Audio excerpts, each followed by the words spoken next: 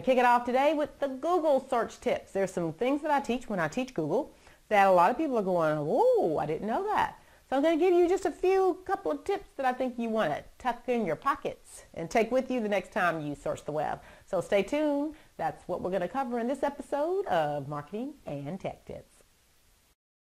All right, tip number one. The first tip is one that very few people know, and it's about searching for images. Actually, it's more about letting images be found. Say there's a flower in my yard that I don't really know what it is, and I'm wondering what it is. Let Google help me. Watch how I do this. I'm going to minimize. After I minimize the screen, I'm going to find that flower in my yard.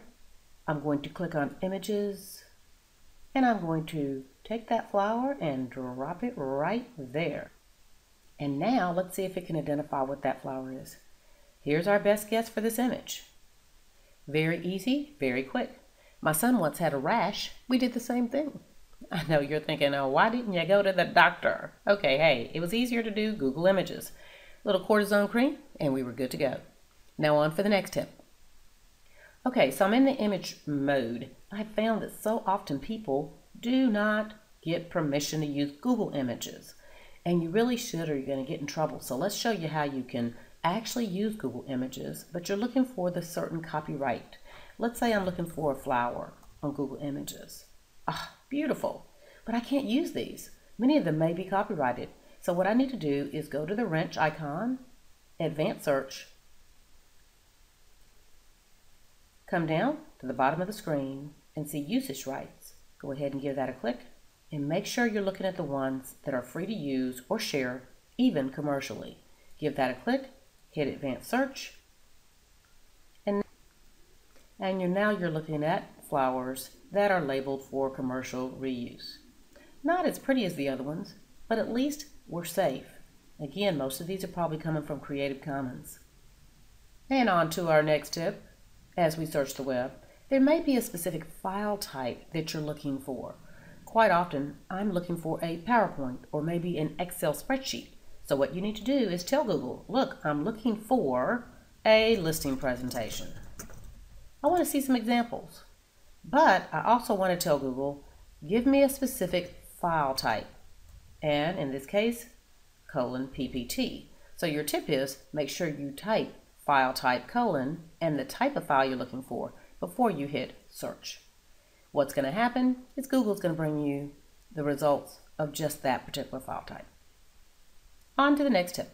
This next search tip is one of my favorites because quite often I'm lazy and I want to look for something very specific on one of my favorite websites.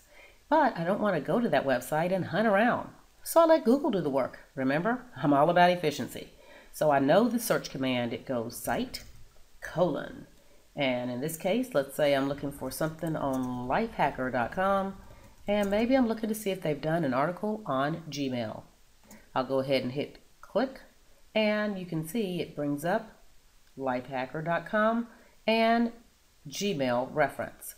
On to the next Google search tip.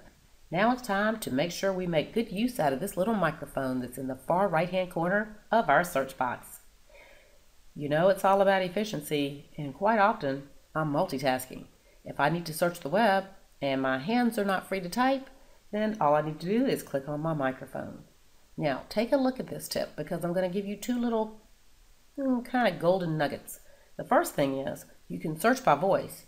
The second piece is I want to introduce you to Google's conversational piece, which means that Google has a conversational feature where when you start talking to Google, it automatically knows what you're talking about.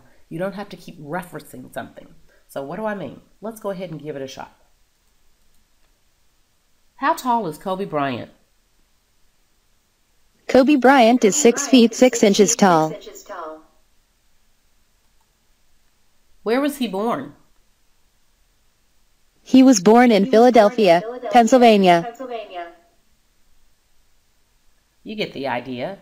So that makes it much easier for you when you're looking to find out more information about the first question that you asked. I hope you enjoyed these tech tips. And in fact, if you learned something new, give me a thumbs up. And don't forget, subscribe to my channel for more tech tips.